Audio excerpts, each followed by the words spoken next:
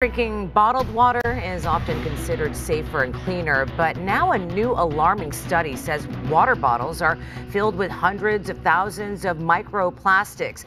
These microscopic particles are small enough to enter the human bloodstream. KTLA Samantha Cortese joins us live with what experts say these findings mean for our health. Sam. Yeah, the International Bottled Water Association. It exists. It sounds like the bottled water lobby. They say tonight that this is just media scare tactics. But we have an interview with the lead author of this study, as well as a local doctor who says, look at the emerging science and decide for yourself. Tiny disruptors to our bodies may be in the water we drink because of what the water is in plastic. I mean, whether we see it or not, it's out there. Columbia and Rutgers University researchers say they tested three popular brands of bottled water sold in the United States. They found using laser technology, the average liter of a bottle of water has nearly a quarter million invisible nanoplastics.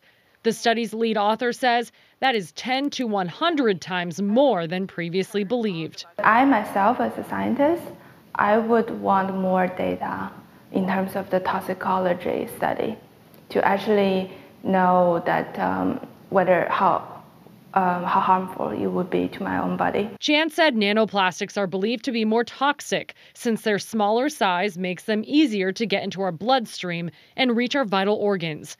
Dr. Kimberly Petrick from Kaiser in Santa Monica reiterated the important distinction. Because they're so teeny, they might migrate through tissues of our digestive tract lungs, and into our bloodstream. Doctors say these plastics are estrogenics. They are omnipotent and potentially harmful. Long term, it may contribute to diabetes, obesity, cancer, and fertility problems.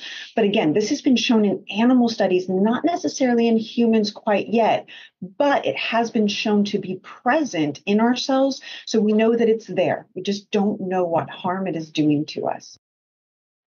The study did not name which water bottle companies were examined, though Qian said they were sold at Walmart. For now, whether that's a bottle in the car or a microwave meal, doctors recommend we don't consume things, water or food, that have come in contact with hot plastic.